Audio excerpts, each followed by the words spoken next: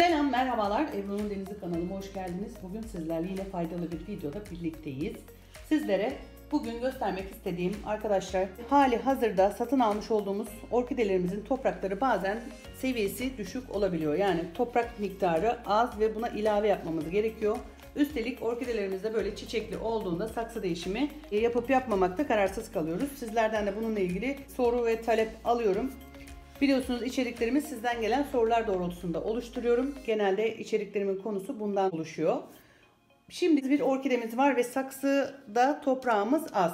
Ve e, saksı içerisine sığdıramadığımız şu şekilde hava köklerimiz, işte dışa çıkmış kökler var. Fakat çiçekli olduğu için orkidemiz saksı değişimi yapamıyoruz. Hemen aklımıza bu yöntem gelecek. Çok basit, pratik bir yöntem. Benim de uyguladığım bir yöntemden size bahsedeceğim şimdi. Evde çok basit, e, geri dönüşüm gibi kullanabileceğimiz şöyle bir pet şişe kullanacağım. Nasıl yapacağımızı da ben kestim. Sizlerle birlikte de yine keseceğim. Şöyle bir şerit halinde artık e, yüksekliğine siz karar vereceksiniz. Ben saksıma ölçtüm ve benim e, şöyle bir yükseklik yetti. Şu geniş kısmından saksımızın ağzına tam geliyor. Şöyle düzgün kesersek daha güzel, e, tertipli ve muntazam görünecektir. Şöyle bir bant halinde kesiyorum. Bunu saksımızın boyunu yükseltmek için kullanacağız. Çok basitçe gelebilir ama işimizi görecek. Orkidemizi saksısını değiştirip strese sokmamış olacağız. Aynı zamanda da toprak ilavesi yapmış olabileceğiz. Yine sulamasına da devam edeceğiz. İçerisinde sünger olma ihtimaline karşın.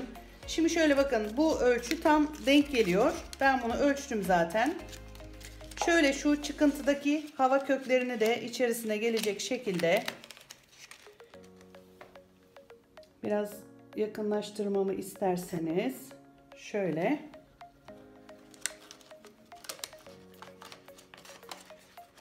şu şekilde bakın eğer varsa elinizde bir tel zımba yardımı ile oradan sabitleyelim.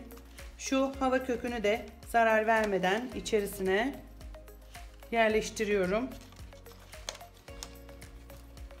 Yani bunlar e, geçici çözümler gibi görünse de orkidelerimiz için hayati önem taşıyor arkadaşlar. Şöyle bakın. Şuradan tel zımba yardımı ile sabitleme işlemini de yapacağım.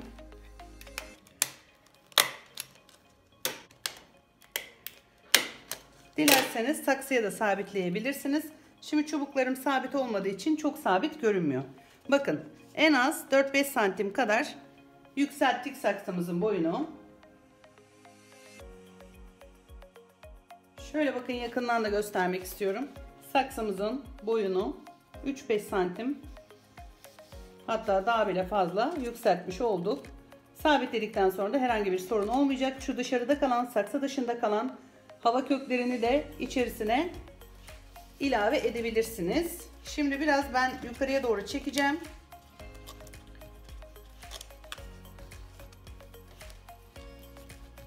Şöyle. Ve buradan toprak ilavemi yapıyorum. Köklerimiz herhangi bir şekilde formu bozulmuyor.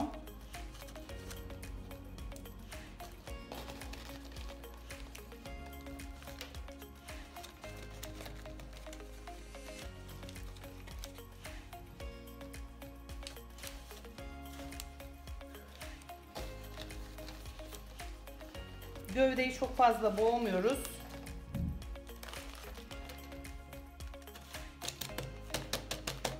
Şöyle bir iki hareketle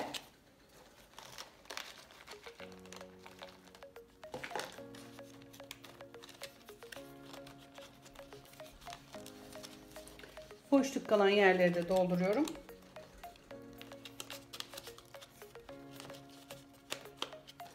Böylelikle hava köklerimizde toprağa topraktan faydalanmasını, nemini almasını sağlıyoruz.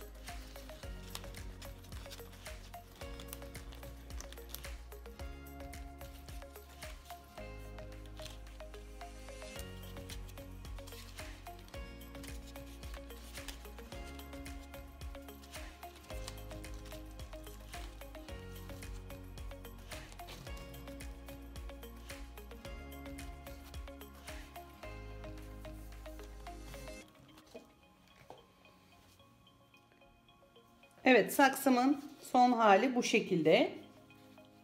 Işıktan net görebiliyorsunuzdur umarım. Normal fotoğraf olarak da paylaşacağım. Bakın köklerin formu hiç bozulmadı. Ee, şimdi bunu merak edip soracak olanlar da olabilir. Bu e, yanlışlıkla devrildi bu saksı benim. Ve toprakları döküldü. Gövdesi biraz yerinden oynadığı için e, ben yeni bir saksı ile değiştirmek yerine bu şekilde bir yöntem kullanmak istedim. Şimdi sulamasını da hemen sizlerle birlikte yapalım. Ee, yumurta haşlama suyu. Bu arada onu ihmal etmiyoruz. Şöyle alttan sulama yapıyoruz çünkü çiçeğimizin dibinde sünger olabilir. Şöyle kıyıdan süzdürerek üstteki topraklarımızda kuru kalmaması açısından haşlanmış yumurta suyumuzu şifa niyetine döküyorum. Altta bir kap yardımıyla bekleyecek. Sünger varsa süngere denk getirmiyoruz. Şöyle şuradan haşlanmış yumurta suyumu da boşalttım. Alttan suyunu alacak. Şu an kış mevsiminde olduğumuz için sadece bir 10-15 dakika beklettikten sonra süzdürüp yerine alacağım saksımı. Şöyle şu açıdan da göstereceğim. Işık yansıması olmaması için.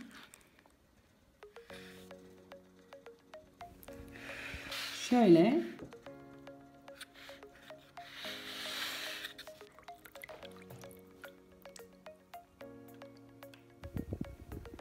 evdeki çok basit bir malzeme ile saksımızın boyunu uzattık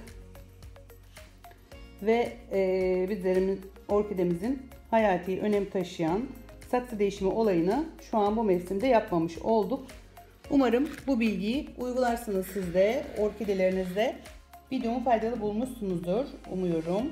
Buna benzer videolarımdan haberdar olmak için videoma yorum ve beğeni bırakmayı, kanalıma abone değilseniz abone olmayı unutmayınız. Yeni bir videoda görüşmek üzere diyelim. Hoşçakalın.